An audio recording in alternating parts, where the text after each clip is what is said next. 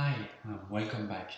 Um, so in this next uh, series of lectures, we are going to study the matching model of the labor market. We're going to um, describe it and study its properties.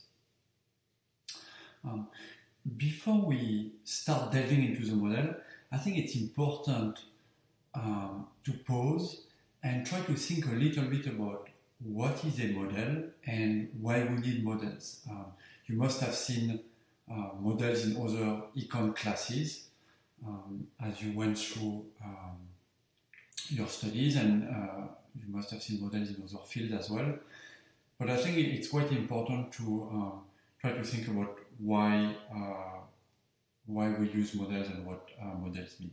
So um, I guess this goes back to the question of uh, what is um, science and what makes uh, science as opposed to you know, something else. Um, so you can, uh, if you go on Canvas and look at the list of textbooks that I recommended, you will see two textbooks by, uh, by Thomas Kuhn. Uh, Thomas Kuhn was a historian of science, and he is the one who really defined um, what makes uh, a science, what makes a science so special, why is science so effective at understanding the, at understanding the world, and also why science has made, has made um, so much progress in the past uh, century. So I highly recommend these books. Uh, one is called The Structure of um, Scientific Revolution. It's a shorter volume that summarizes um, all his research on different um, scientific revolutions. Um, and the other one is specific to the Copernican revolution. This one is particularly interesting. Uh, it's a bit longer, but uh, these are very good reads. And if you're um, interested in uh, science in general, and if you want to know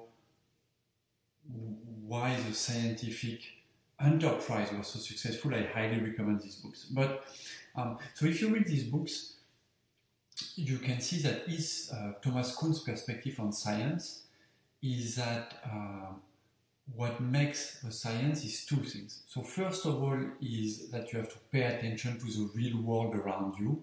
So there is an aspect of science that's a measurement of the real world, trying to collect data, trying to pay attention to the data, and always trying to um, look at what's happening in, in, the real world. And the other part of a science um, is models or theories uh, or groups of theories.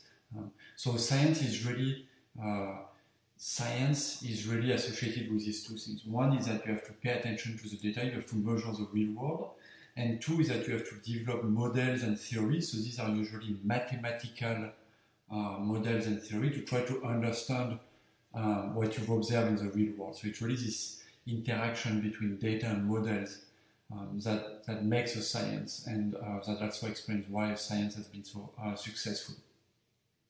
Um,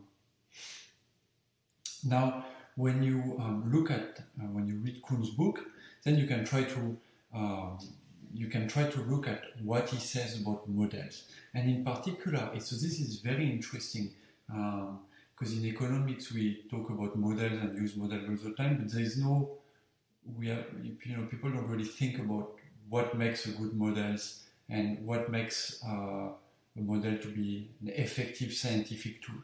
Um, and so Kuhn um, isolates three aspects of uh, a model.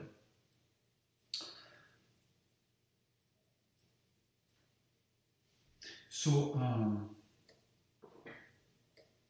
according to um, Kuhn, there are three things that are very important that makes a good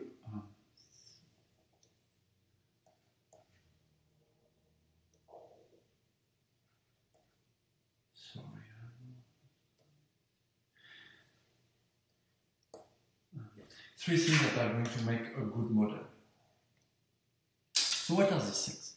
So first of all, perhaps obviously, a model has to um, provide a good description of the world around you. So it has to be descriptive. Right? And usually, you know, people when, when you um, study economics, sometimes there's this idea that you come up with a model and then you try to test the prediction of the model. But that's silly. Um, you don't start writing a model until you've observed the real world around you. And the first task of a model is to be descriptive. That is, you're going to look at the real world, you're going to see what's going on, and then you want to build a model that describes what you know about the real world. Okay, uh, so if your model is not able to explain the basic phenomena that you're going to that you see in the real world, you know, it's not going to be an interesting model. So your model has to be descriptive. So now, if you think about uh, our matching model that we are going to introduce, when we want it to be descriptive, what do we want to be able to explain? And uh, well, we've talked quite a lot about the properties of the labor market in the previous lecture that we think are interesting and important. So, as we are going to build a matching model, what are the things that we want to be able to describe? Well, first we want to be able to explain why there is unemployment. The fact that unemployment exists always, it's, it's very persistent. So now you may think, well, that's completely obvious. But I mean, if you think about it, the basic model of the labor market in you know, neoclassical economics is a competitive model of the labor market. So it's a labor market in which supply is equal to demand and there is no unemployment. Anybody who wants to work is able to work at the given wage. So it totally fails to describe what we see in the real world. Okay, so although it seems obvious to have unemployment, it's actually not something that many models uh, have.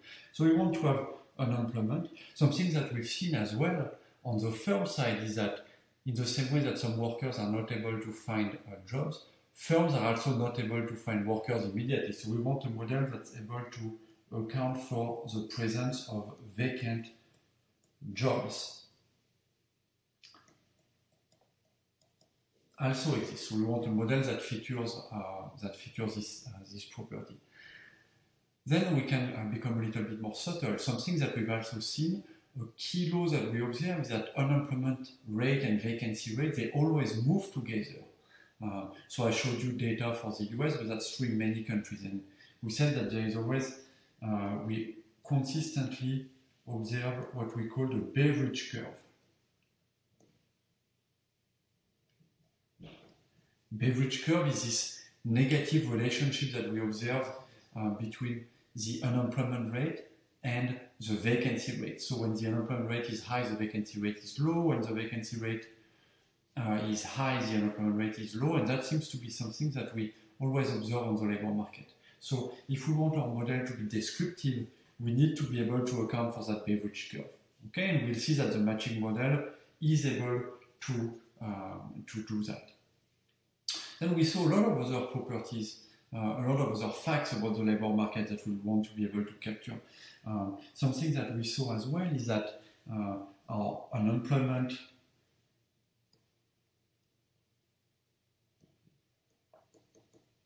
is um, counter-cyclical.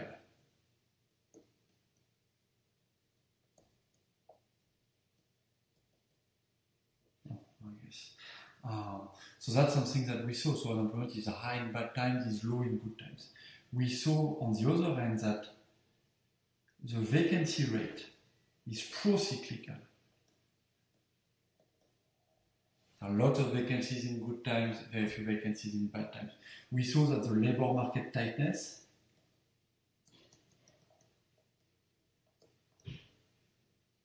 you know, if you're not, which is uh, the vacancy rate divided by the unemployment rate. Of course, if your unemployment rate is, is um, counter-cyclical, your vacancy rate is pro-cyclical, your labor market tightness will want it to be also uh, highly procyclical. Okay. Um, other things that we saw, we saw also the job finding rate moved, and we saw that it was much easier to find a job in um, good times in bad times. We saw that for firms it was much easier to fill vacancies in bad times than good times. So all these are facts that we'll want to be able to account for okay? Because we want our model to be um, descriptive. These are things that we saw, we want to feature them in the matching model. So that's the first thing. Uh, that's the first key uh, properties. The second properties that also play uh, a big role, according to Kuhn, is the fact that your model has to be economical.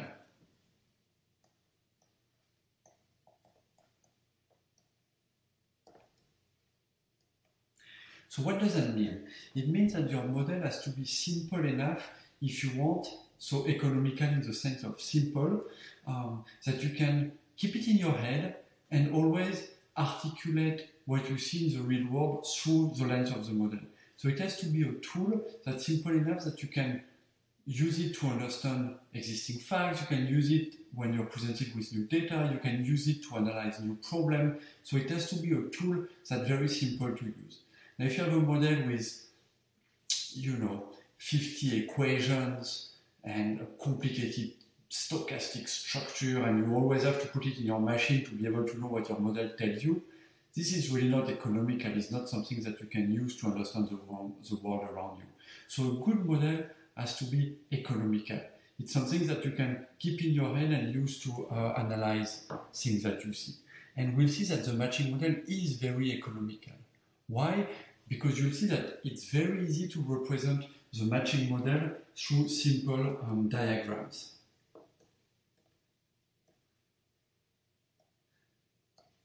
And um, actually, the neoclassical model of the labor market, you know, a model with labor supply, labor demand, and market clearing is very economical because you can represent it in a simple supply and demand diagram, and your wage um, is found, you know, at the intersection of supply and demand. So we'll try to keep this simplicity in our matching model. So we'll have very simple diagram. We'll have diagrams with labor demand plus labor supply. And the demand and supply will have slightly different uh, interpretation as in the neoclassical model, but nevertheless we'll still have this, and then we'll have an equilibrium at the intersection of uh, demand and supply. Okay, and so you can always keep these diagrams in your head and use them to understand what you see when you're presented with existing data, with new data, with new problems. Um, so that's something that's going to be another strong point of the matching model. And what is the last property that's very important according to Kuhn? Well, this one is a bit more sophisticated. Um, what makes a good model is that your model has to be a good guide to the unknown.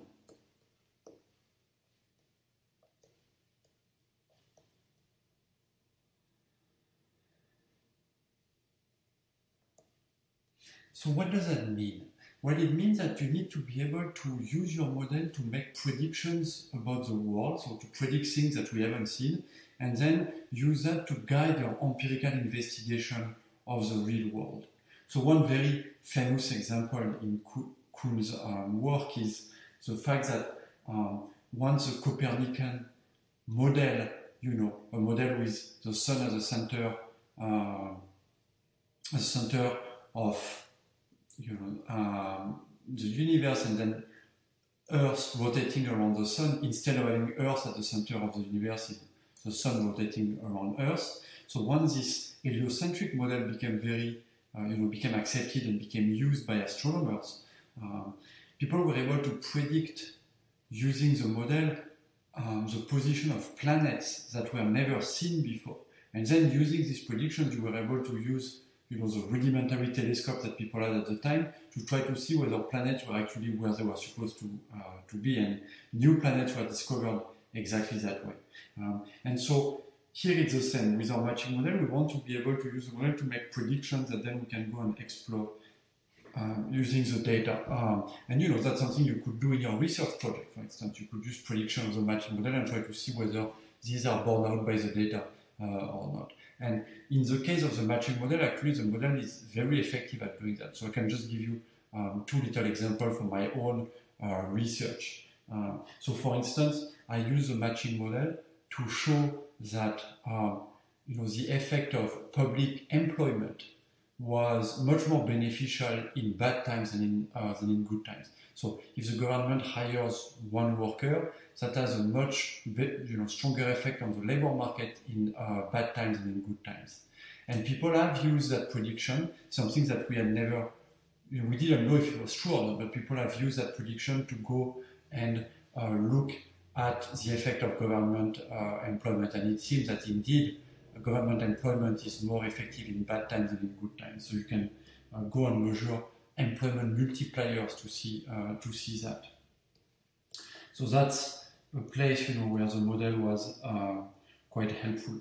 So another prediction that we'll talk about this semester that the model makes is that the model predicts actually that in bad times, if you help some workers to find a job, what's going to happen is that these workers are going to be more likely to find a job. So say if you help them write their CVs and prepare them for interviews, but that's going to be at the expense of other workers. So if you want in bad times, it looks like the number of jobs is almost fixed, so that if you help some workers, they're going to move ahead in the queue of job seekers, and that's going to penalize other workers who are going to move down in the queue of job, of job seekers. This effect is much weaker in good times because in good times you have enough jobs for everybody. So that if some workers are helped, the other workers are not really suffering because there's just uh, a lot of jobs available. And that was something that's very specific to the matching model that wouldn't be predicted by other models. And people have been testing that prediction in uh, in French data using randomized experiment, and they found exactly that type of effect. So here again, it's a situation where the model was useful to guide empirical um, investigation. Um, so they uh, basically they explored the effect of job queues and job training in good versus bad times.